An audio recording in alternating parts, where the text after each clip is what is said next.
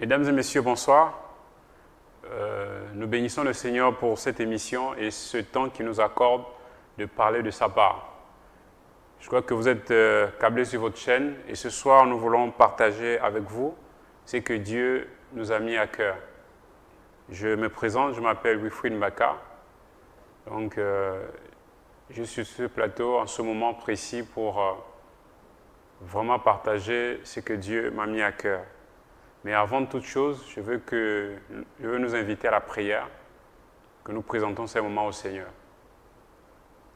Dieu d'Israël, nous bénissons ton nom, nous bénissons ton règne, nous bénissons ton autorité, nous bénissons ta présence, ton esprit, Seigneur, qui nous conduit, qui nous enseigne, qui nous instruit, Seigneur. Nous voulons parler non de la part des hommes, ni de notre propre part, Seigneur, mais nous voulons parler de toi. Nous voulons t'élever, toi seul, Jésus de Nazareth. Nous voulons que nous diminuions, que tu sois vu. Nous voulons nous effacer, Seigneur, afin que tu prennes la première place.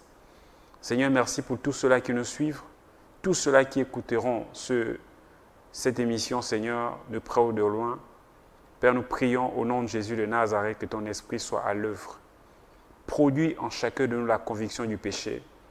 Viens, Seigneur, ô Dieu, délivrer ton peuple de toute forme de, sommeil spirituel, toute forme d'égarement, toute forme de, de nonchalance, Seigneur. Nous voulons glorifier ton nom. Père, tu es fidèle, tu es juste, tu es bon. À toi soit la gloire ce soir, au nom de Jésus de Nazareth. Amen.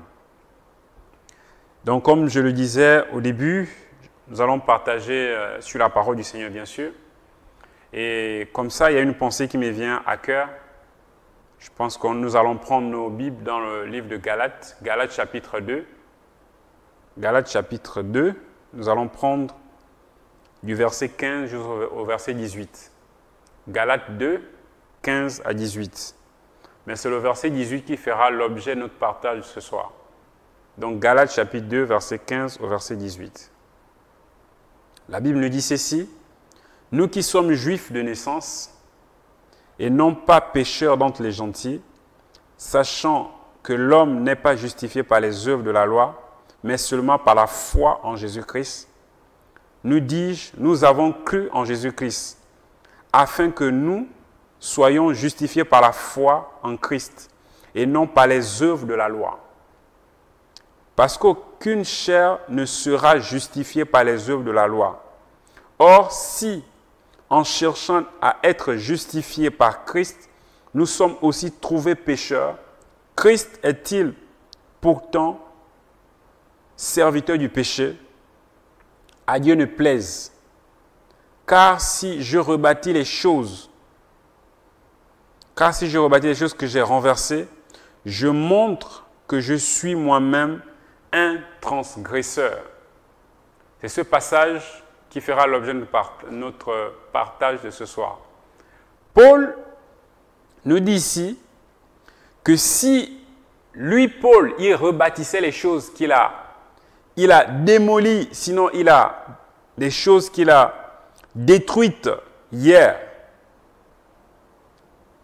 des choses qu'il a renversées, Paul devient un transgresseur. Je veux nous parler ce soir des transgresseurs de notre génération, sinon les transgresseurs de la parole de Dieu. Pourquoi parler des transgresseurs? Je veux nous ramener dans le contexte de Galate. C'est l'une des régions où Paul, l'apôtre Paul bien sûr, quand euh, Yahweh, par son esprit, a parlé à tous ses frères et sœurs qui étaient dans cette cité d'Antioche, que mettez-moi à part Paul et Barnabas pour l'œuvre à laquelle je les ai appelés, Paul et Barnabas, effectivement, sont entrés dans ce que Dieu leur a demandé de faire. Ils se sont rendus dans cette cité qu'on appelait Galatie pour proclamer aussi haut et fort le nom du ressuscité, le nom de Jésus-Christ de Nazareth. Ils ont annoncé l'évangile de la croix. Ils ont annoncé l'évangile qui élevait un seul homme, Jésus de Nazareth, le Dieu véritable, le ressuscité, c'est lui qui a vaincu toutes choses. Voici Paul, une fois dans cette cité, la cité a été secouée par l'évangile du royaume. la Galatie a connu un réveil, un réveil terrible, de la, une visitation de Jésus-Christ de Nazareth au travers de ses enfants. Et cette ville, beaucoup ont renoncé à leur tradition, beaucoup ont renoncé à leur religion, beaucoup ont renoncé à leurs coutumes. Et ils ont accepté l'évangile avec simplicité de cœur, avec dévouement et détermination. Paul va terminer sa mission, il va continuer ailleurs. Mais derrière Paul, quelque chose se produira dans cette cité de la Galatie. Effectivement, il va se produire, il va s'introduire d'autres personnes qui, pendant la présence de Paul, effectivement, étaient sûrement muets. Mais vu qu'ils ont vu, ils, ont, ils se sont rendus compte que Paul n'y était plus, ils se sont mis à annoncer un autre évangile. Et Paul va écrire cette lettre à ses frères, à ses assemblées qui étaient en Galatie, pour les interpeller sur leur manque de discernement, sur leur tolérance, leur degré d'égarement vis-à-vis de l'évangile. Et Paul va parler de lui-même en leur disant ceci, que si moi, Paul, moi qui vous a annoncé Jésus de Nazareth, moi qui vous a présenté, j'étais dans cette cité, je vous ai présenter le royaume de Dieu, le règne de Dieu, la puissance de Dieu. S'il m'arrivait de vous prêcher un autre évangile, je deviens transgresseur. Il dit si je démolis ou, si je rebâtis les choses que j'ai renversées, je deviens un transgresseur. Frères et sœurs, en Galatie, effectivement, à l'image de ce que Paul nous dit, il y a eu des transgresseurs. Il y a eu ces hommes et femmes qui ont commencé, qui ont premièrement épousé l'évangile, c'est-à-dire accepté l'évangile, tel que l'évangile leur a été présenté.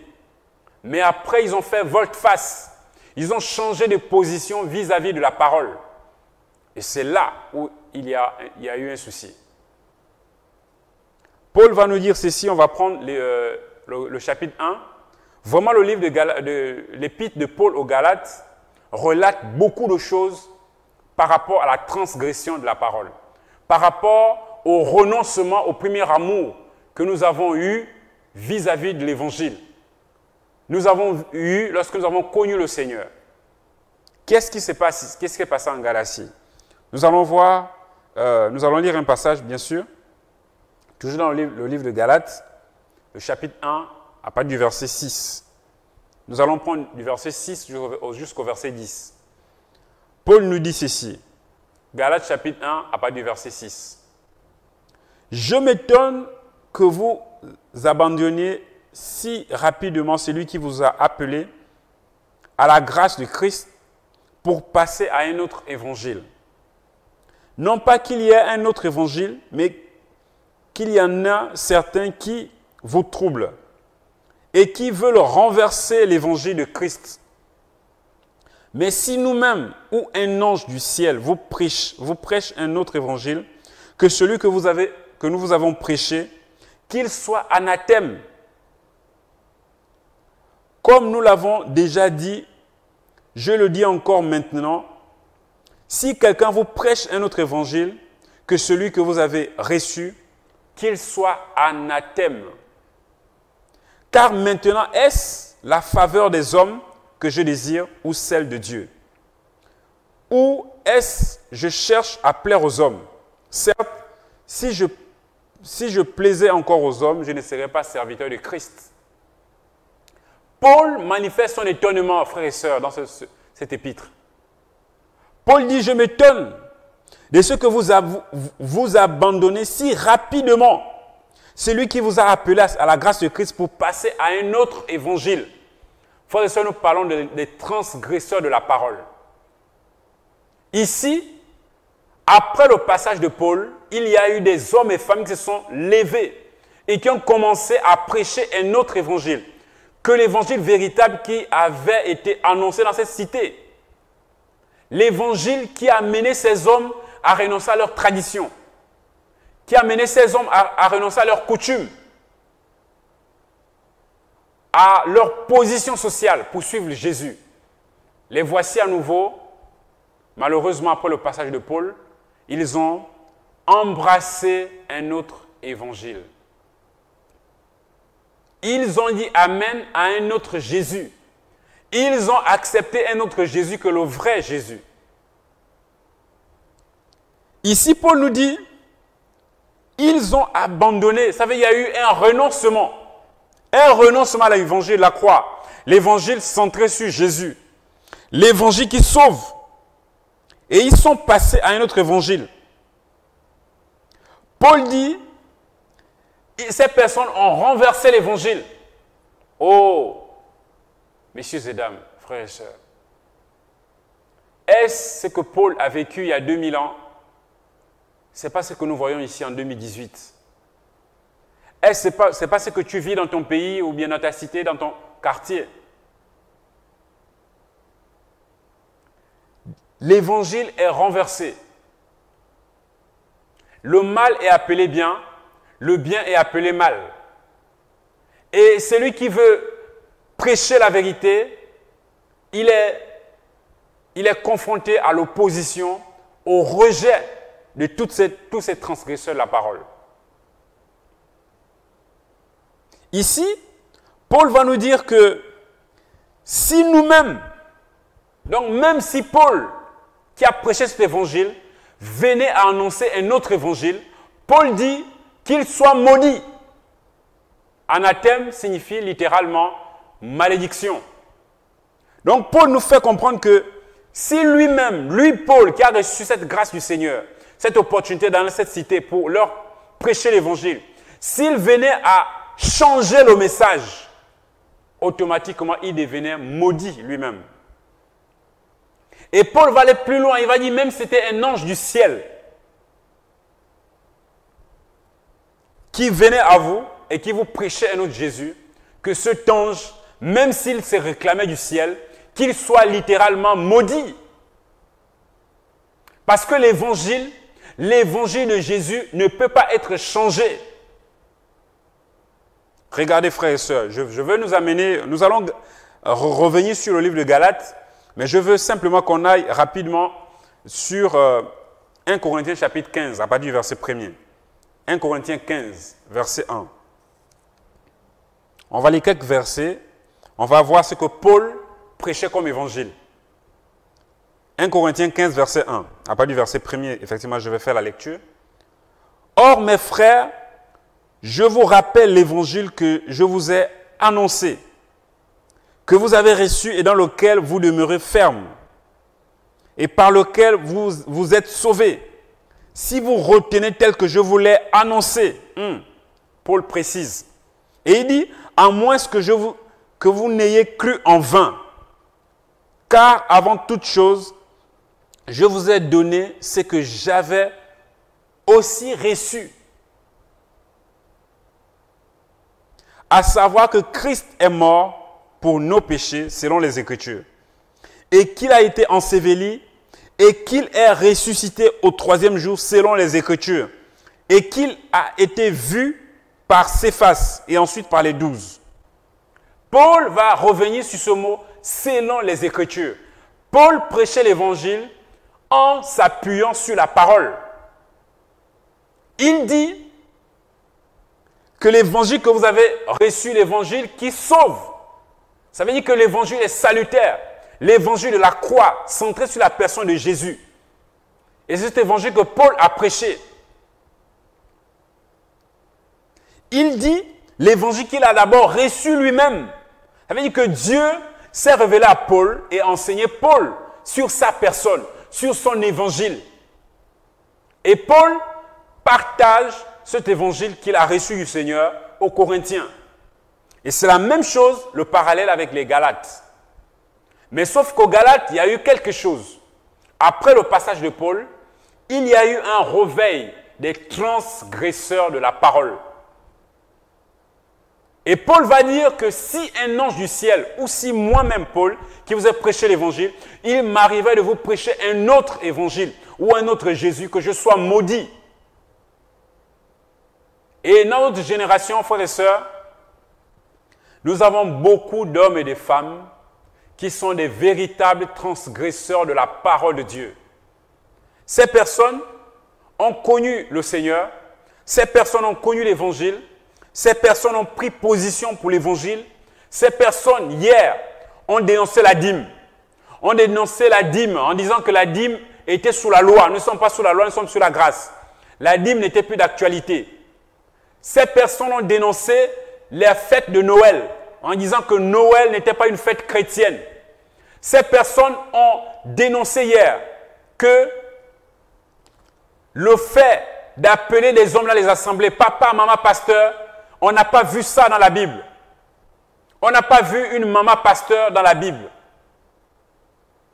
On n'a pas vu une femme être consacrée comme euh, apôtre, prophète, ceci. On n'a pas vu ça. On n'a pas vu dans la Bible un homme être consacré à côté de sa femme, avec toge, avec euh, costume, cravate et vêtements soi-disant sacerdotaux. On n'a pas vu cela.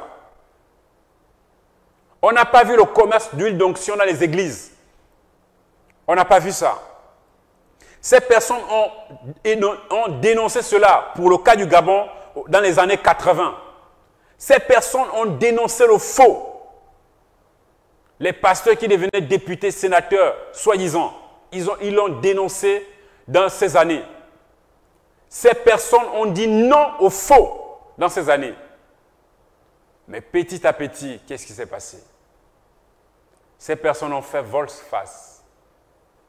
Ils ont changé le message. Ils ont commencé à rebâtir. Rebâtir, c'est la, la construction. Ça veut dire que, regardez, c'est comme si quelqu'un, tu démolis quelque chose, tu détruis un édifice, après, tu recolles les briques et tu remontes l'édifice. C'est cette image que Paul nous donne dans Galates chapitre 2, verset 18. Il dit, si moi, Paul, je rebâtissais les choses que j'ai renversées. Mais qu'est-ce que Paul a renversé chez les Galates? Il a renversé les coutumes des Galates. Il a dénoncé la dîme. Il a dénoncé la dot. Il a dénoncé le commerce des âmes. Il a dénoncé le commerce dans l'église. La, vente des livres la vente des édifices, soi-disant, la construction des cathédrales. Paul a dénoncé ces choses. Nous, avons fait un parallèle en parlant de la situation, d'abord de, la situation de, la Galatie à l'époque de Paul. Après son passage, il y a eu des hommes et des femmes qui se sont levés effectivement dans cette ville pour transgresser, pour euh, renverser, sinon détruire complètement tout ce qui a été donné comme fondement à ses frères et sœurs. Et euh, nous sommes en 2018, on se rend compte que notre génération a le même souci. Aujourd'hui, certaines personnes qui euh, autrefois étaient des modèles, des personnes qui annonçaient le royaume du Seigneur en toute simplicité, des personnes qui proclamaient la gratuité de l'Évangile, qui condamnaient la vente des livres, la vente des romans, la vente des Bibles, la vente de tout ouvrage chrétien autrefois, aujourd'hui eux-mêmes ils sont devenus des spécialistes, sinon des grands commerçants. Sinon, on va dire des marchands du temple. Paul appelle cette génération la génération des transgresseurs. Et je crois que euh, nous sommes en plein dans la manifestation de ce que Paul nous a écrit il y a 2000 ans. Parce qu'aujourd'hui, frères et sœurs, même la Bible comme celle que je tiens entre mes mains, si vous allez dans une librairie chrétienne, elle coûte tellement cher.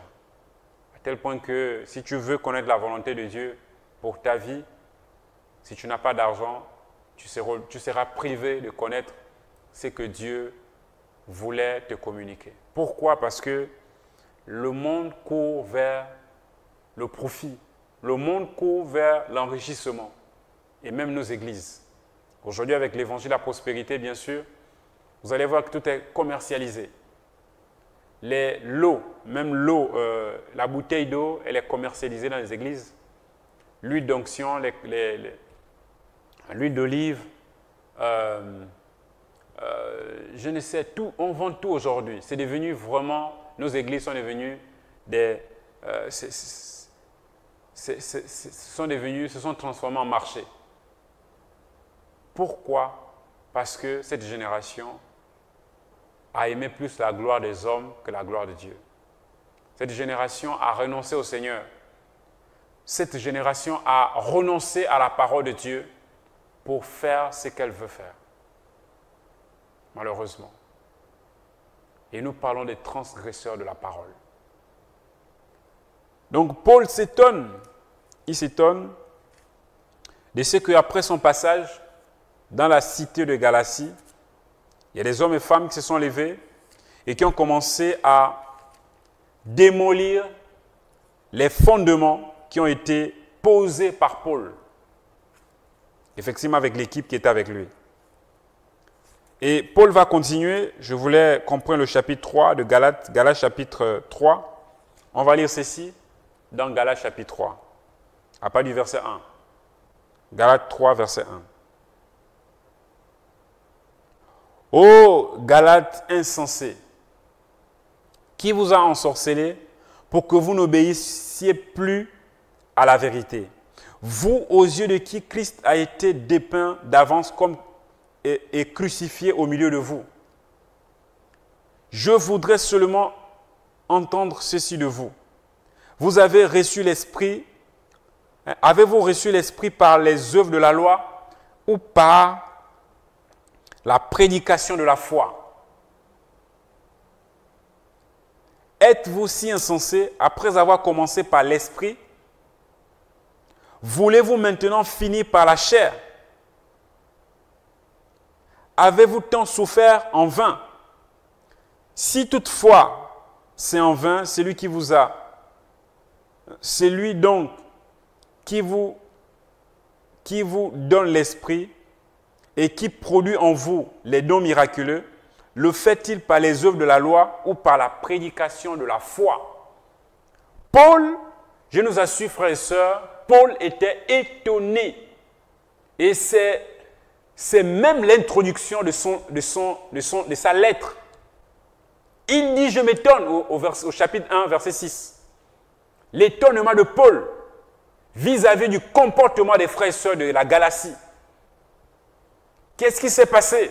Ils ont connu la vérité, mais ces hommes ont été ensorcelés, envoûtés par un autre évangile, par un autre Jésus, un autre message.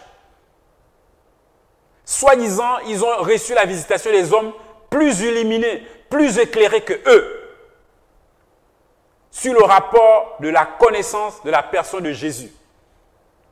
Ils ont commencé à détruire l'évangile en proclamant des fausses doctrines. Et les frères et sœurs étaient complètement tétanisés, sinon ils étaient détruits. Leur foi avait été rasée et personne ne pouvait prendre position. Et Paul, étant avec l'autorité apostolique, il s'est levé, il a écrit pour interpeller ses frères et sœurs sur l'évangile qu'ils avaient reçu de Paul et des apôtres et l'évangile qu'on leur, leur proclamait présentement. Et je crois que c'est la situation dans plusieurs de nos pays, plusieurs de nos villes. L'évangile est transgressé. Les fausses doctrines sont acclamées dans nos églises. Même par les personnes qui autrefois étaient intègres. Mais vu qu'elles ont basculé, aujourd'hui tout le monde les acclame. Et lorsque ces personnes sont dénoncées, leurs doctrines sont dénoncées, on va vous traiter de tous les noms. Pourquoi que cette génération se fait une foule de prophètes, une foule de docteurs selon leurs désirs. Et avec de telles motivations, où allons-nous? Tout, nous irons partout, et sauf, sauf monter au ciel avec ce, ce type de prédication. Parce qu'on ne peut pas transgresser l'évangile et espérer qu'un jour on ira au ciel. Ce n'est pas possible. Parce que Jésus n'est pas le fondement des fausses doctrines. Quand quelqu'un véhicule les fausses doctrines, ce n'est pas l'esprit de Jésus qui l'anime, c'est l'esprit d'erreur, c'est l'autre esprit. Et vous savez l'origine de l'autre esprit et vous savez la fin des autres esprits. Les transgresseurs de la parole. Je nous assure, c'est terrible ce qui se passe dans nos villes. Aujourd'hui, nous sommes arrivés à une génération où les soi-disant hommes, et femmes de Dieu arrivent à laver les femmes nues dans leurs assemblées, soi-disant pour la délivrance. Des gens vendent des, euh, des sujets de prière. Les gens se prosternent devant l'homme de Dieu. Les gens aujourd'hui, quand le pasteur prêche, il y a ce protocole qui est chargé simplement d'essuyer la sueur du visage de ce monsieur. Transporter sa Bible, faire les travaux à la maison, euh, travailler avec leurs enfants, cotiser pour, pour sa retraite, financer leur voyage, financer la construction de leur bâtiment, la construction de leur maison. Et c'est ce qui se passait au temps de Pharaon. Les enfants d'Israël travaillaient, ils battaient des briques pour construire les cités de, Ramsès. Et je crois que à notre génération, nous sommes en plein manifestation de ce qui se passait au temps de Moïse.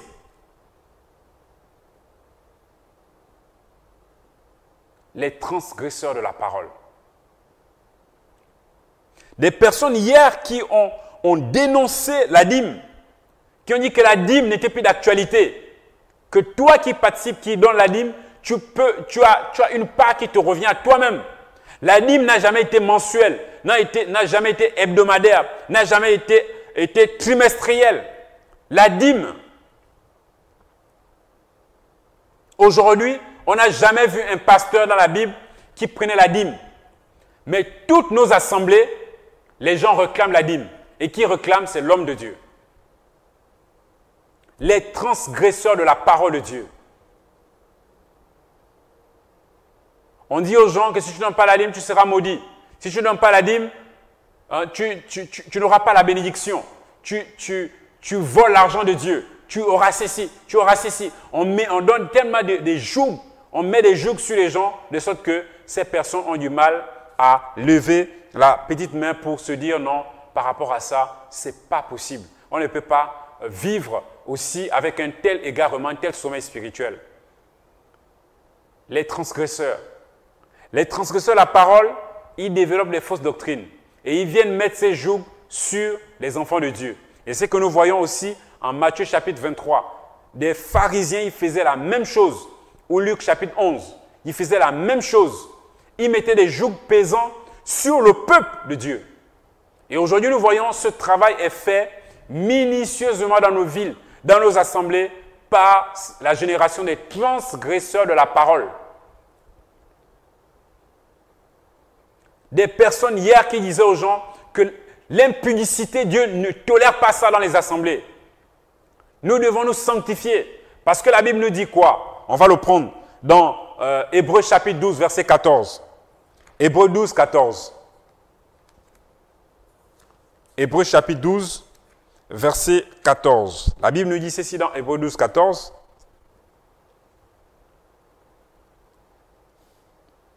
Recherchez la paix avec tous et la sanctification sans laquelle personne ne verra le Seigneur. L'auteur de l'Épître aux Hébreux nous dit recherchez la paix, recherchez la sanctification. Sans la sanctification, personne ne verra le Seigneur. On n'a pas dit les pasteurs verront le Seigneur, les apôtres verront le Seigneur, les chrétiens les plus spirituels ou les, ceux qui donnent plus de dîmes verront le Seigneur. Non. On a dit sans la sanctification, personne ne verra le Seigneur. Et je crois que c'est l'objet de notre prière et, et c'est ce que nous voulons chercher dans notre marche avec Dieu. Nous sanctifier pour aller au ciel. Mais pourquoi nous laissons-nous aussi manipuler, aussi aller baloter à tout vent de doctrine par les transgresseurs de la parole? Parce que, effectivement, nous sommes aussi quelque part, comme les Galates, nous sommes responsables de ce qui nous arrive. Beaucoup ne lisent plus la parole. Beaucoup lisent la parole le dimanche, ils sont, devant leur pasteur.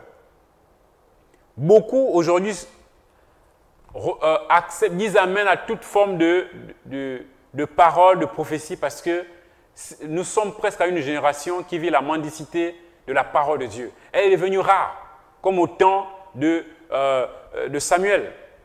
Au temps de Samuel, la parole était rare. Et aujourd'hui, la vraie parole, elle est rare.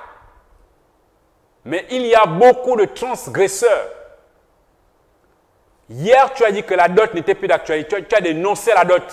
Parce qu'à la lumière de la parole, la dot était exigée dans les cas de viol. Dina avait été violée dans Genèse 34. Et en, termes de réparation ou d'amende vis-à-vis de, ce forfait, de ce tact abominable qui a été commis, Sichem a proposé apporter à euh, Jacob la dot.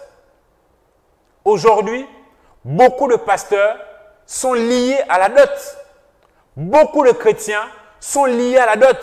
Ils ne veulent pas dénoncer la dot ouvertement en disant que la dot n'est pas d'actualité. Un chrétien qui aime le Seigneur, qui craint le Seigneur, n'est pas soumis à ça.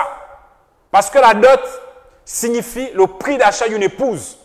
Et nous ne pouvons pas aller acheter les âmes du Seigneur, soi-disant à 1 million, 2 millions, 3 millions, comme ça se fait. Non, un chrétien né de nouveau qui aime le Seigneur ne peut pas pratiquer la dot.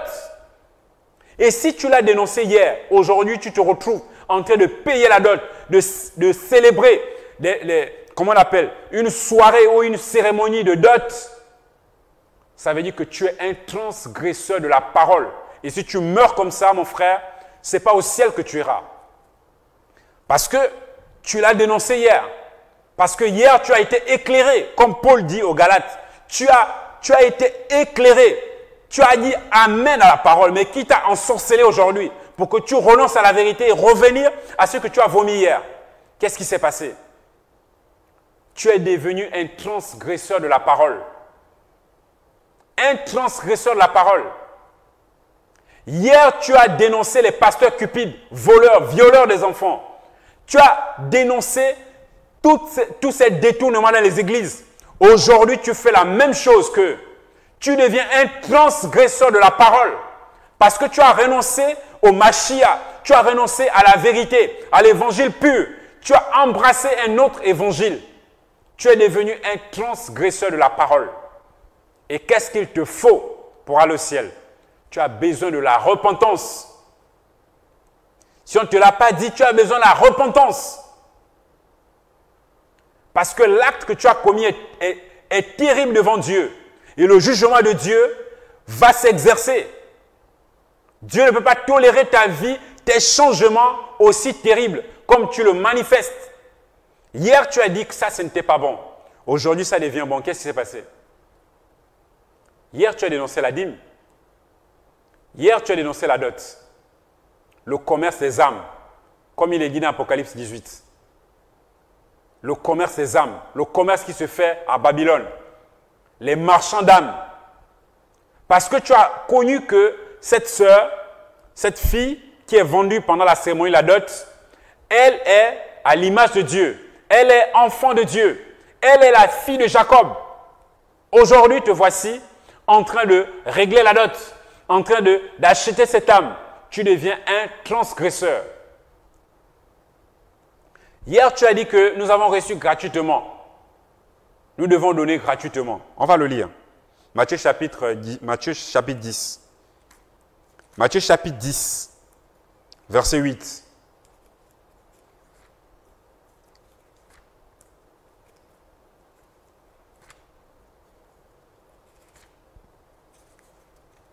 Matthieu chapitre 10, verset 8.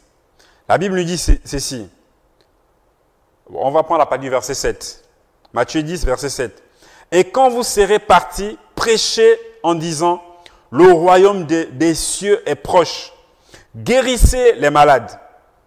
Rendez purs les lépreux. Ressuscitez les morts. Chassez les démons hors des possédés verset 8 toujours, vous l'avez reçu gratuitement, donné gratuitement. Vous l'avez reçu gratuitement, donné gratuitement. Il n'y avait pas d'échange. Les gens venaient au Seigneur, ils étaient guéris, délivrés gratuitement. Jésus ne leur demandait rien du tout. Les apôtres ont manifesté la même chose. Mais nous, aujourd'hui, on va te dire, tu viens en assemblée, tu es souffrant. On va dire, non, prends d'abord trois jours de jeûne. Jeûne avec nous, prie. Prie, viens jeûner avec nous. Mais la personne est souffrante. Vous dites de jeûner. Vous transgressez déjà la parole. Et deuxièmement, vous allez dire, non, il faut que tu payes quelque chose qui te coûte cher. La personne doit apporter de l'argent. 50 000, 100 000 francs CFA. 1 million de francs CFA pour la prière. Et parfois, après cette prière, la personne n'est même pas guérie. En temps hier, toi, tu, tu, tu annonçais à ton assemblée que nous avons reçu gratuitement. Nous devons donner gratuitement. Tu as reçu quoi La grâce du Seigneur? La même chose pour ceux qui ont la grâce par rapport au chant. C'est ce, lorsque vous, lisez les psaumes de David, David vous a demandé combien de francs CFA, combien d'euros, combien de dollars pour euh, euh, comment on appelle, pour lire ces psaumes et les traduire en cantique, comme on le fait aujourd'hui. Vous avez payé combien de francs CFA à David ou à Azaph? Ou aux enfants d'Azaph Mais où avez-vous trouvé cette attitude en disant aujourd'hui, pour que tu viennes assister à un concert chrétien, il faut que tu débourses 100 000, 50 000, 20 000, 10 000, 500 francs pour les droits d'entrée. Où avez-vous vu Lorsque tu ouvres les psaumes, on va te dire pour lire le psaume 80, il faut que tu, tu payes 500 francs CFA pour accéder à la connaissance. C'est pourquoi beaucoup de chantres, beaucoup de chrétiens vont dans le chemin de l'enfer avec le commerce. Parce que Jésus ne nous a pas appelés à cela. Nous avons reçu gratuitement, nous devons donner l'évangile gratuitement. Toi qui fais tes concerts payants, si tu aimes le Seigneur, tu dois arrêter avec le commerce. Parce que, souviens-toi, que lorsque Dieu t'a donné la grâce du chant, tu n'as pas payé quelque chose. Paul dit, nous avons reçu gratuitement. Si nous avons si nous, avons, nous l'avons reçu, pourquoi nous enorgueillir? Effectivement, ce que tu as reçu, pourquoi deviens-tu orgueilleux de ce que tu as reçu hier? Est-ce que quand tu es né, tu prêchais l'évangile? Est-ce que quand tu es né, tu, sortais les CD Et si aujourd'hui la production de tes CD est, onéreux, si c'est financièrement très cher, est-ce que tu es obligé de faire des CD Ne te mets pas sur des jougs inutiles qui vont t'amener à t'opposer fortement à la parole de Dieu. Restons sur la parole. Donc, les transgresseurs de la parole, effectivement, frères et sœurs, je crois que nous arrivons euh, presque à la fin de, cette émission. Nous parlons des transgresseurs de la parole. Les transgresseurs de la parole, ce sont aussi ceux-là qui, hier, ont renoncé au péché et aujourd'hui sont repartis au péché. Hier, ils ont connu la sanctification. Ils ont connu que Jésus revient. Aujourd'hui, ils disent que non, Jésus ne revient plus. On va régner ici sur la terre. Hier, ils disaient, soyons simples. On n'a pas besoin de la théologie, parce que la théologie ne vient pas de Jésus de Nazareth. On n'étudie pas Dieu, Dieu se révèle.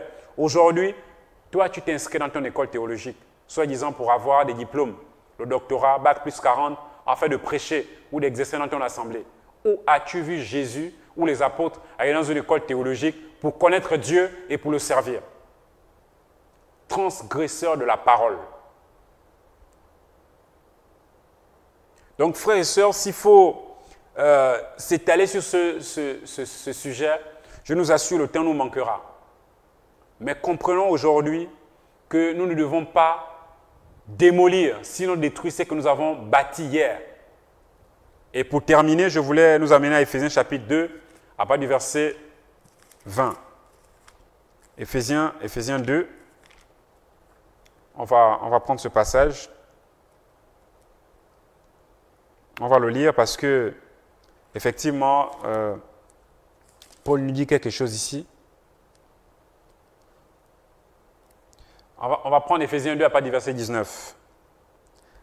C'est pourquoi vous n'êtes plus des étrangers ni des gens du dehors, mais concitoyens des saints et gens de la maison de Dieu, étant édifiés sur le fondement des apôtres et des prophètes, et Jésus-Christ lui-même étant la pierre angulaire en qui tout l'édifice, bien ajusté ensemble, s'élève pour être un temple saint du Seigneur, en qui vous êtes édifiés ensemble pour être une habitation de Dieu en esprit. Alléluia.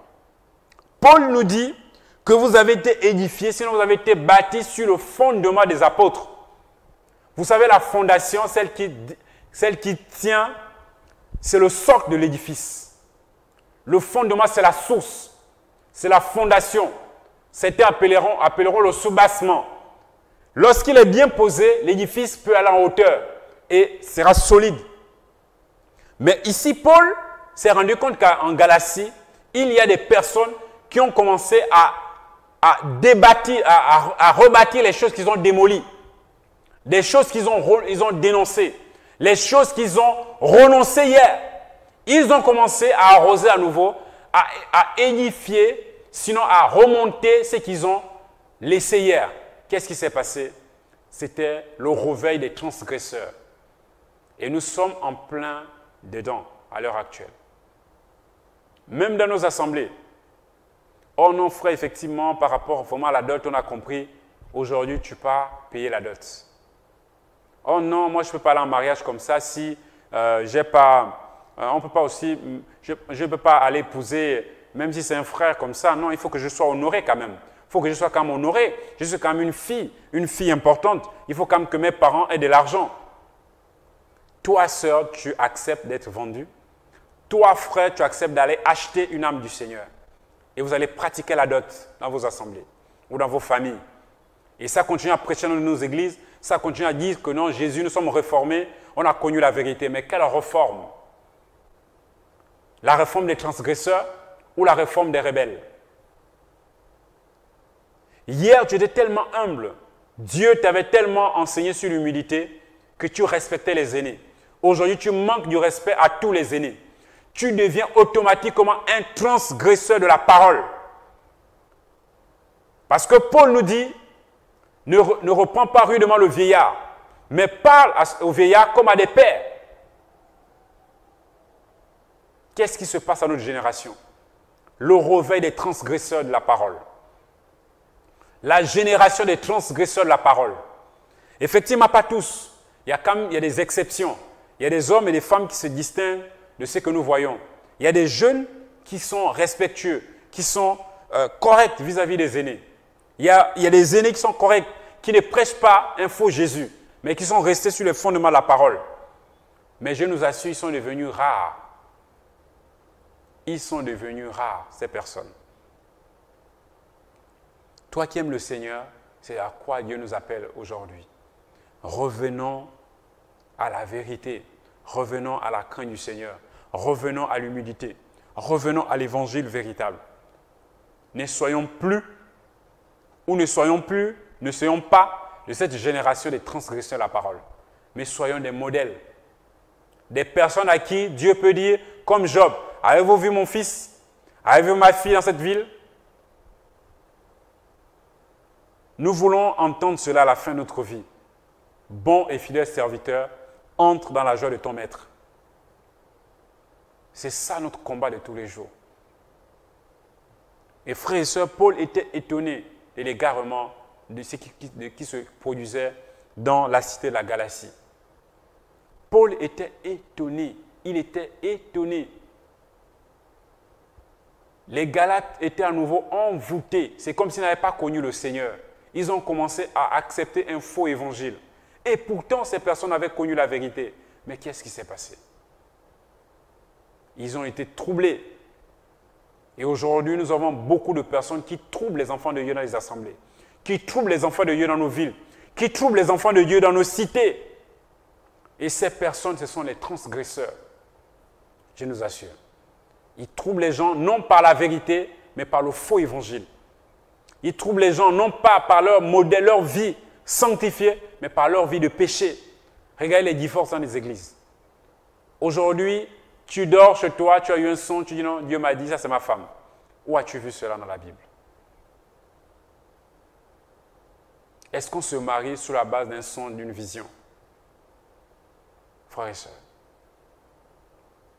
Vraiment, on ne, peut, veut pas s'étaler longtemps. C'est simplement euh, nous partager cela. Ne soyons pas des transgresseurs de la parole, mais soyons des enfants de Dieu. Soyons des modèles. Soyons des vrais enfants de Dieu.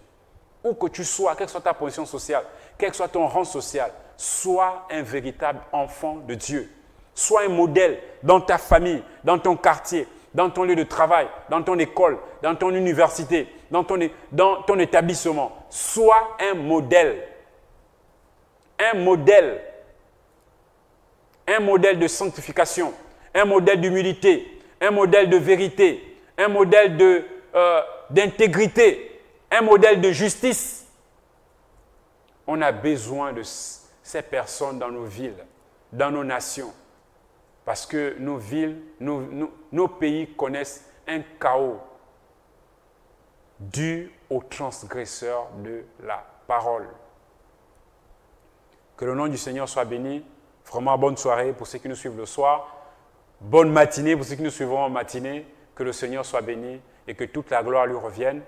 Nous n'avons pas la prétention d'avoir toute la connaissance, ni d'avoir des jugements, des condamnations sur des personnes, mais nous voulons simplement témoigner de ce que nous voyons, de ce que toi tu vois, de ce que nous nous voyons, et nous voulons interpeller les uns les autres à rester sur la parole. Que Dieu soit béni et bonne soirée à tous.